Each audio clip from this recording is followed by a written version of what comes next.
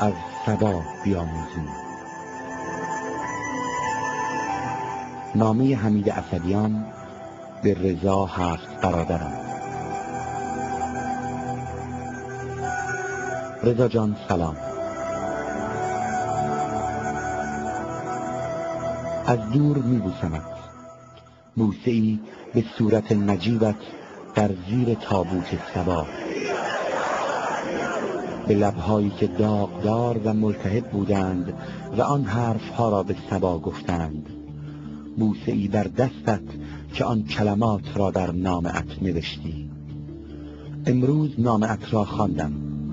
چند روز پیشم با آن یکی دختر اشرفیت سارا رفته بودی بالای سر سبا و با او حرف می‌زدی. آن را هم دیدم. چند روز قبل ترشم وقتی پیکر سبا را آوردند تو را زیر تابوت سبا دیده بودم.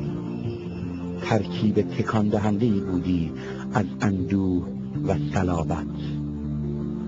آن مرد بغض کرده که نمی گرید تو بودی. و من با تمام وجود میفهمیدم چرا گریه نمی کنی. چون خودم هم گریه نمی کردم.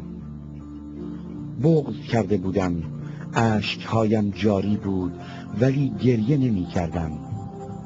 محمود درویش در سال 2006 وقتی اجساد تکه تکه شده کودکان فلسطینی را دید نوشت